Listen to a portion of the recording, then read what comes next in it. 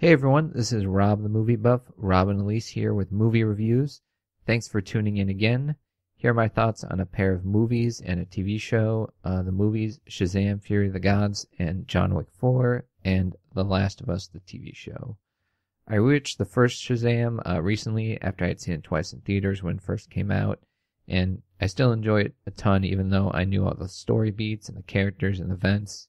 It had what seemed at the time to be a weird combination of both comedy and horror elements when it was first promoted, especially with David Sandberg as director. He had previously done Lights Out in 2016, which was originally a YouTube short turned into a full feature, and then did Annabelle Creation. But all that coming horror, the combination still worked really well. Um, the villain was introduced well enough, and Mark Strong was intimidating, but also given a great backstory. The combination of Billy Batson, played by Asher Angel, dealing with his mom leaving him and having to go to yet another foster home, coupled with him having to balance a new family with the gaining of superpowers, uh, surprising superpowers after meeting a wizard played by Djimon Hounsou, just getting those powers by just saying Shazam, and uh, that older adult character played really well and really fun by Zachary Levi, and then having to deal with the criminals, a supervillain, and fame, it made for a compelling inner conflict for Billy. Um, also, Freddie Freeman, played by Jack Dylan Grazer, Billy's brother, was great on screen next to both next to both Asher Angel and Zachary Levi, even though his character comes out a bit a tad annoying at the beginning. Once you fully understand his perspective as a disabled kid who everyone just ignores and bullies, you really empathize with Freddie. And everything felt so new at the first one, especially with all the adopted kids in the home at the very end gaining all their powers and having to use them with, you know, baptism under fire, but finding a way to succeed. And in the sequel, as with most sequels, there has to be bigger stakes and more plot. But I feel like those elements and having far more Zachary Levi as Shazam um, than Asher Angel's Billy Batson, it made it a very generic superhero entry. The villains, the Daughters of Atlas, Helen Mirren as Hespera, Lucy Lewis, Kalypso, and Rachel Zegler as Anthea are introduced without much backstory or fully understanding um, anything of their past. And even though Rachel Zegler and Helen Mirren do a lot with what they're given on the screenplay, um, I think one of the big issues is that just any attempted horror and death scenes felt a little, at least a tad, if not much tamer than the first, and they were trying to cater to more family at some points, but other times it came off as jarring when horror was uh, introduced. Um, it kind of took me out of those scenes. Especially disappointing as well that the side stories with Freddie and Anthea and the Wizard became a lot more compelling than all the stuff with Shazam and the Power Family. I think there are a few decent cameos and a couple not so great, and some decent comedy and some not so great. Um, but overall, I didn't have a ton good or bad to say about this movie, other than performances are good, but I felt it went in too far into the universe superhero building instead of that of a family dynamic story.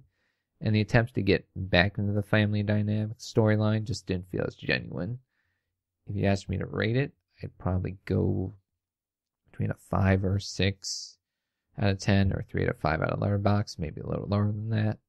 Um, next thing is The Last of Us, which is a TV show based on an incredibly popular video game series. I have not played I've only heard bits and pieces, excuse me, bits and pieces of the story before watching the show. The main thing that attracted me to it was the creator Craig Mazin, being the creator of one of my favorite uh, main series of all time in Chernobyl.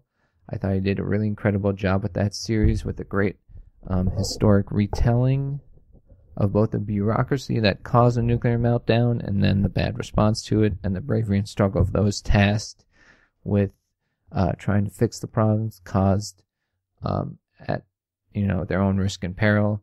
Um, one of the best aspects of The Last of Us was the um, cold openings of the show in episodes one, two, and nine that were ominous about the fungi disease um, that spread um, to lead to a pandemic involving humans becoming zombie-like creatures, and then the tough decisions those characters faced in those instances.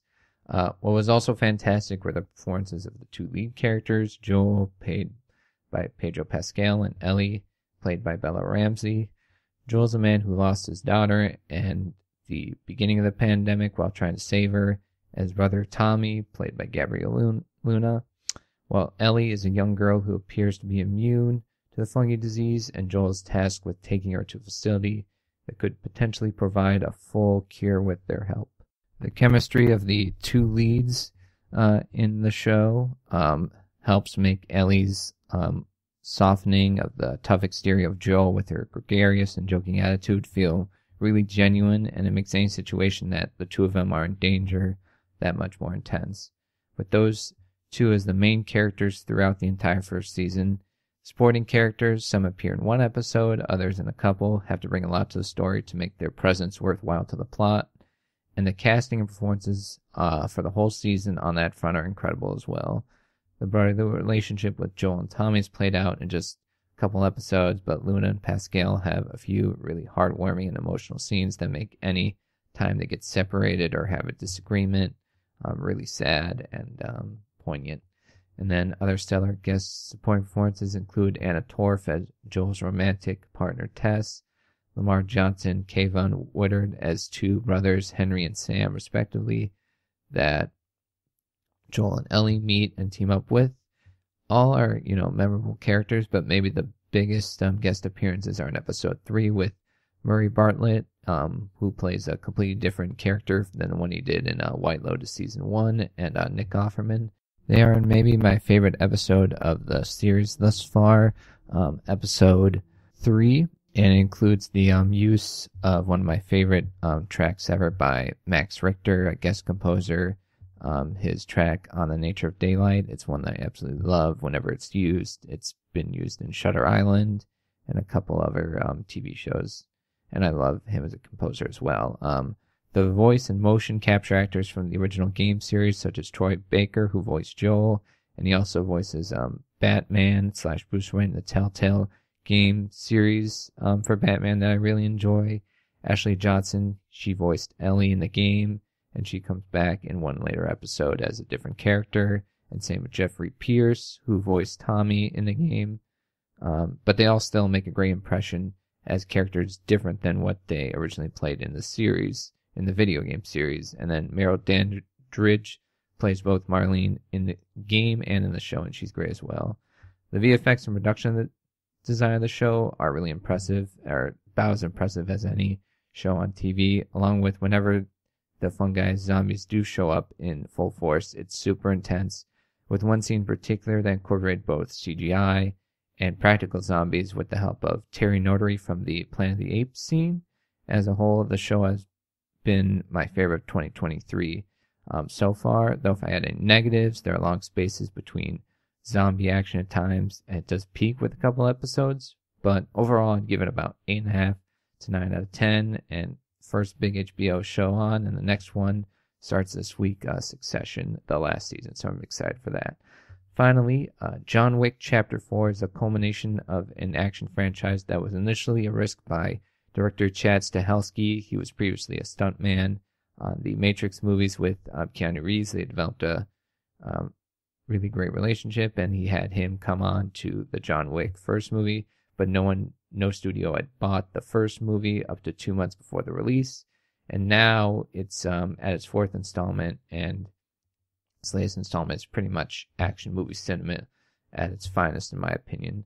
Keanu Reeves again returns as John Wick after he shot after he's shot off a roof by the New York Continental roof manager. Um, Winston, played by Ian McShane again at the end of chapter 3, Parabellum. And he's physically and mentally training for revenge against the High Table that's excommunicated him with the help of the Bowery King, played by Laurence Fishburne.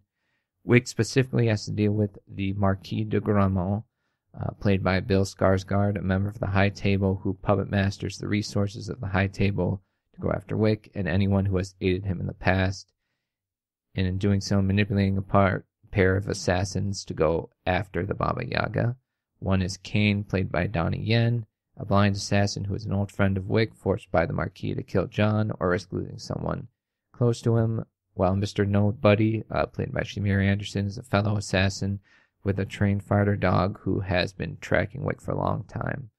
That's the most I'll get into about the uh, plot to avoid story spoilers, but Chapter 4 has so many incredible action sequences that it's difficult to come up with a top 10, much less a top 5 of them in this movie. They include horseback, nunchucks, gun and knife play simultaneously, samurai swords, stairs, car chases, a great um, top down shot, one take, and so much more. There's even one near the Arc de Triomphe that matches and may even best a stunt that was done in um, that same uh, area, the Arc de Triomphe, in uh, Mission Impossible Fallout. And that's a phrase I never think I'd say with how much love and appreciation I have for the stunt work in the Mission Impossible series.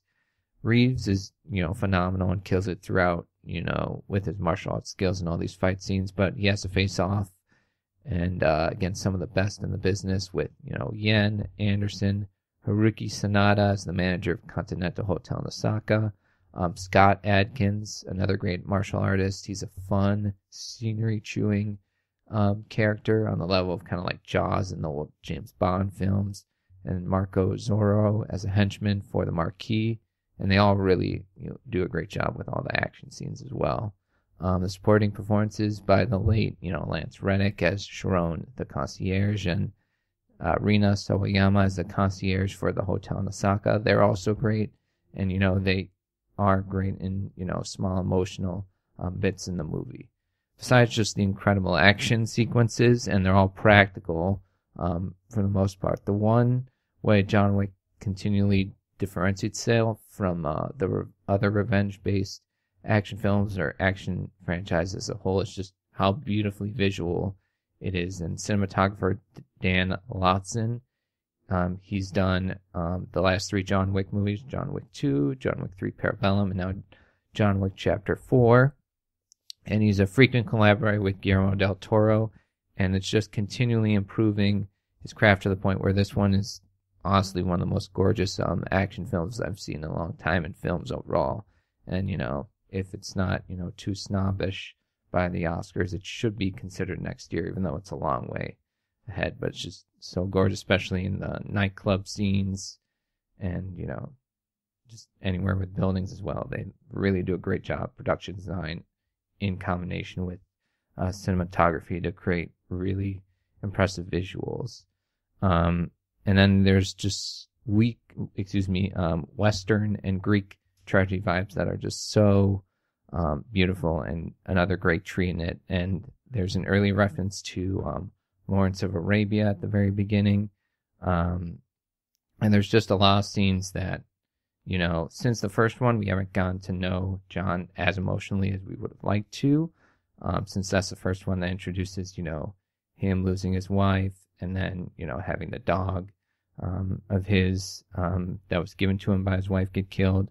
But in this one, there's a lot of scenes that like retrospectively look at John's life and who he's interacted with and um, what effect that has on you know him and uh, his legacy and his life and lives of others. And um, they provide great weight emotionally to those um, to everything going on with just those incredible action scenes again. So um, overall, I really don't have much to complain. If anything to complain, it was just, um, like I said, um, action masterpiece cinema. It's finest, and right now I have it five out of five on Letterboxd, But you know, I can't wait to rewatch it either in theaters or on uh, streaming or DVD at some point. But yeah, those were my reviews for Shazam: Fury of the Gods, Last of Us, and John Wick Chapter Four. Uh, thanks so much for tuning in, and hope to get you some more movie reviews at some point. Thank you guys.